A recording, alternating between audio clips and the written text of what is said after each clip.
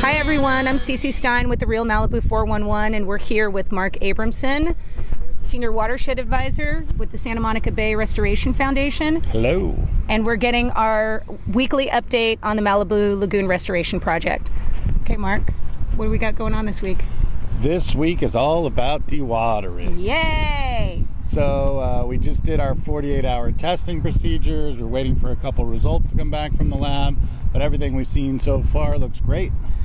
Um, and uh, as soon as we get those result backs, we'll make sure they're within our limits. And once they're within our limits, the plant gets kicked on. Okay, so for those of us who uh, don't thoroughly understand the dewatering process, can you explain that?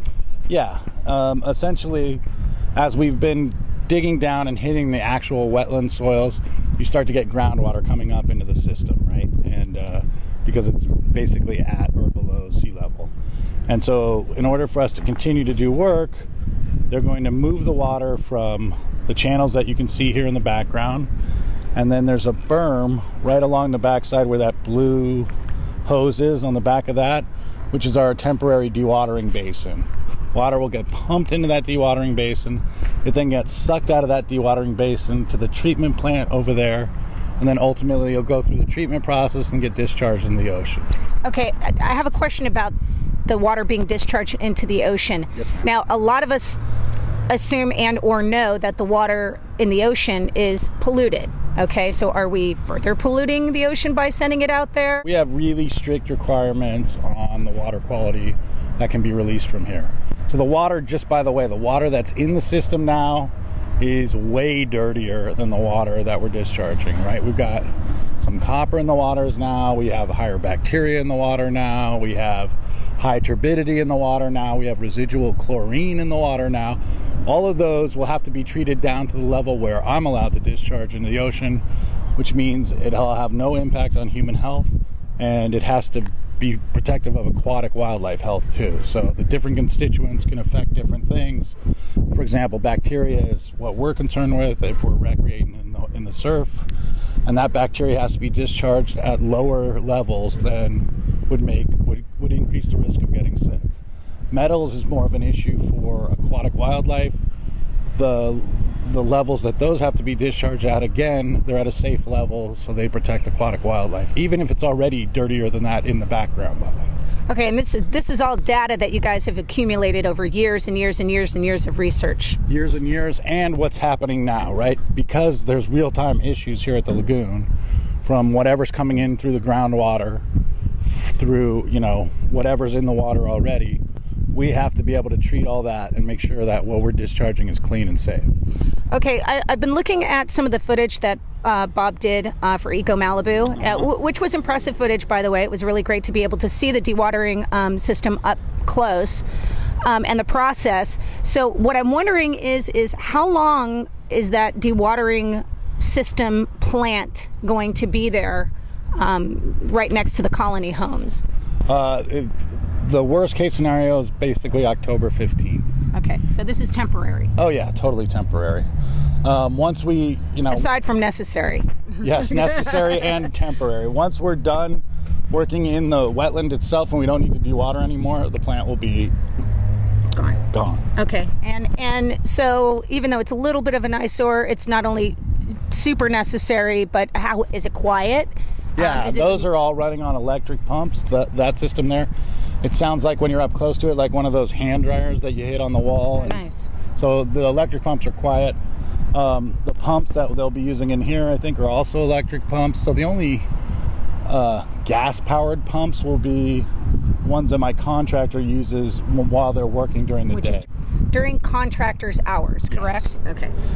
All right, Steve. Do we have any other questions? Do you have uh, questions? I'm just wondering, are, are, some of the pumps going to be running 24/7? the electrical the pumps will probably be running 24/7 on certain times, um, but again, they're they're relatively quiet, and uh, we can put barriers around those to even muffle the sound if they become an issue. But well, let me ask you a question about the opposition. Was that part of their issue? Was the actual dewatering plant itself kind of you know, looming over their homes, or was that never even really brought up? That was never really brought up, but we knew that that would be um, an issue, and so we tried to prepare for it as much as we could.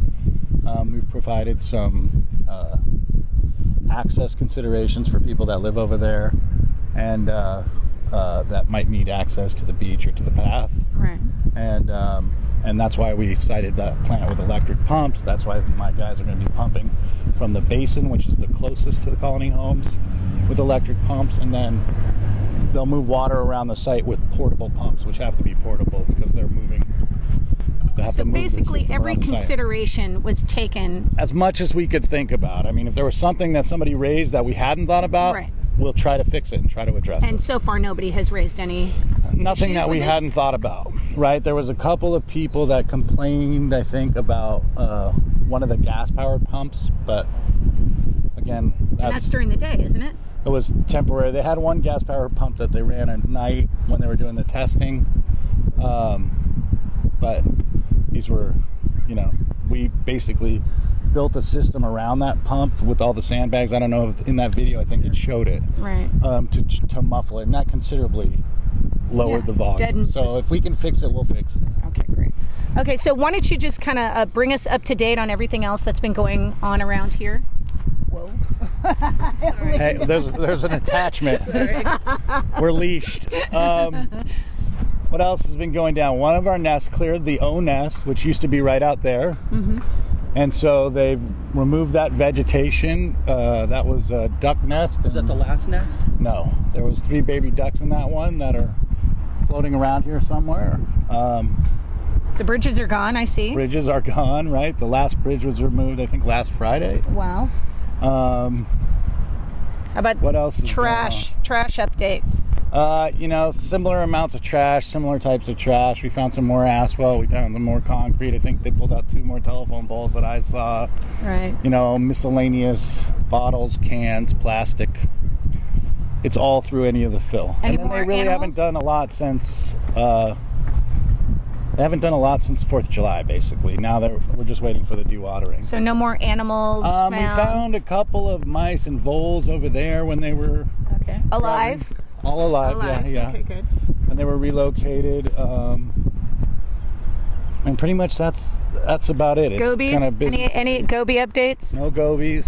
Everything's fine. The site's secure. Okay. And and Willie the Weasel. Haven't seen Willie. Just keeping even got- tabs on Willie. I haven't even got a report on Willie the Weasel um, since the last time. I, I, I still am not convinced that Willie Willie is real, um, and it might not be a cruel joke on everybody else. Well, we might have to track down Suzanne because I think she's got a, a, a more personal relationship with Willie the Willie Weasel. likes her better, for sure. or, or she's just she's just parlaying the joke. Right? okay, so the rest of the week. Tell us about the rest of the week here. Um, it's really going to be more dewatering, right? They're going to get the test back. They'll start up the system. They'll start to pump from the temporary basin. Um, once they get that low enough, the contractor will come in and start pumping the main channel. When they they need some room in the temporary basin before they can work on the main channel, they'll pump the main channel into the basin, and then we'll just be chasing it. How long do you think it'll take to, to, to get the water out of these channels here where they can do actually Well, some physical work on them? With the pumps that they've got, no time at all. I mean, When you four hours. Oh, really? they can drain these channels in four hours. It's just that I got to give them storage room in the other one. Okay. All right. Well, any more? Steve Woods? Uh, that answers a lot of my questions. Wow. Wow. okay, everybody. I'm Cece Stein with the Real Malibu 411 here with Mark Abramson, Senior Watershed Advisor with the Santa Monica Bay Restoration Foundation, and this is our weekly update at the Malibu Lagoon Restoration Project. Thank you. Okay, Mark, can you tell us a little bit about all that black muck all over those trucks over there? So this is that come that come came out of the channels, right? Various channels that were the that used to be the A, B, and C channels. And that's that lagoon. black mess over there too, right? Yeah. Okay. And then and the stuff on the back of the trucks. And so Okay. what they do, and those are sealed trucks. So what they do is they scoop it up with whatever an excavator, right. dump it in the back of the truck, and then any wet soils, regardless, they have to dry out before Right. we can use them on site or take them off site. Right. right? Because when we use them on site, you have to have certain compaction levels, and you can't get that in wet soils. Right. And when you take them off site, you can't be dragging mud Of down course, the street, of right? course. So, and then there's certain uh, best management practices that they have it in place. Like for our site, anything that works on site that's in the mud or in the wet, even if it's just damp mud, we have a, a New Zealand mud snail protocol Yeah. which requires that they have to pressure wash the trucks with water that's above 212 degrees Fahrenheit. Yeah. So it's boiling water, and then the, the equipment has to sit on site and dry for 72 hours before it can leave the site. That's just to prevent mud snails from being transferred from one system where we know we have them in this system to a system that currently doesn't have them. Gotcha. Around. We're just pulling out any trash that we find, even that's just on the side, so That's that so Okay, this it is doesn't get this, this is empty canister of motor oil. That's beautiful. That was in the water. Great. That's got to be really healthy.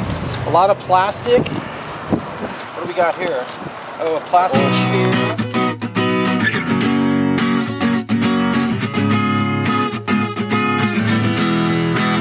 And the world